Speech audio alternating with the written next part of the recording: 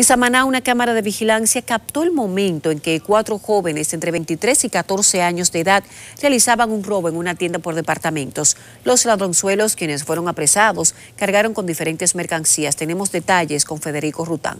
Se recuerda que la Policía Nacional capturó a los presuntos cabecillas y miembros de una banda de malhechores que según fuentes policiales se dedicaban al robo de tiendas en este municipio donde empleados de la tienda María narran cómo fueron encontrados todo en la referida tienda.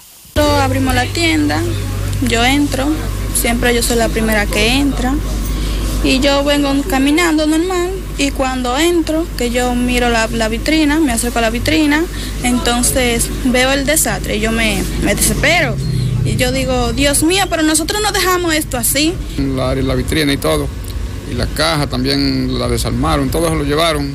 Entonces yo inmediatamente le dije, no le ponga la mano a nada, que yo voy a subir donde la doña a decirle que se metieron los ladrones. María del Carmen García, propietaria de dicha tienda, dijo que los apresados sustrajeron cuatro relojes, varias gorras y cuatro mil pesos en efectivo.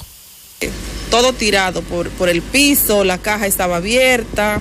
Eh, nosotros empezamos a observar el ambiente.